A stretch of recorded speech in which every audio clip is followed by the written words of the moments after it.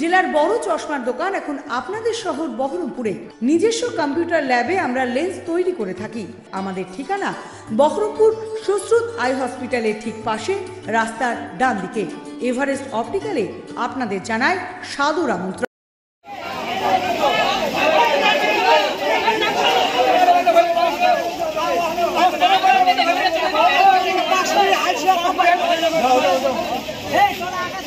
কংগ্রেসের পঞ্চায়েত গঠন হতেই কংগ্রেসের গুন্ডামি শুরু রানীনগরে। মুর্শিদাবাদের রানীনগরের রানীনগর এক নম্বর পঞ্চায়েতের পঞ্চায়েত গঠন ছিল আজ। সেই পঞ্চায়েত পায় জোর এবং প্রধান গঠন হয় কংগ্রেস সমর্থিত। তারপরেই বিজয় মিছিল বার করে সন্ত্রাস সৃষ্টি করেছে কংগ্রেসের লোকজন। রাস্তার ধারে তৃণমূলের পতাকা ছিঁড়ছিল কংগ্রেসের কর্মী সমর্থকেরা।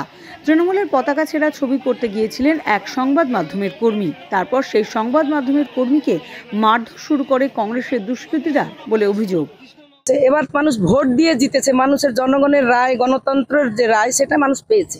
তারপরে মানুষ উৎফুল্ল হয়ে এটা মিছিল মানে স্বাভাবিকভাবে একটু একসঙ্গে হয়ে একটু মিছিল করছিল। সেখানে পুলিশও বাধা দেয় এবং যারা তৃণমূলের কর্মীও তারা বাধা দেয়। এইকে কেন্দ্র করে মানে মিছিলটা, যেহেতু পুলিশ বাধা দিচ্ছে, যার ফলে ওরা মানে ভীষণ ক্ষিপ্ত হয়েছে। যে আমরা কেন আজকে এতদিন পরে আমরা আমাদের অঞ্চল পেয়েছি তিন তিনটা অঞ্চল আজকে আমরা পেলাম।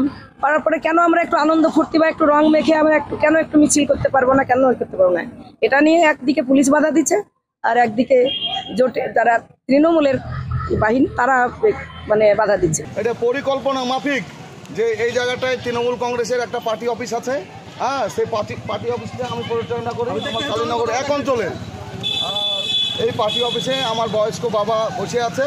এবার তারপর আছে হামলা এবং ফ্ল্যাগ যা টাঙানো আছে সেগুলোকে ছিঁড়ে ফেলা এবং এটা জোটের লোক কংগ্রেস এবং সিপিএমদের লোক।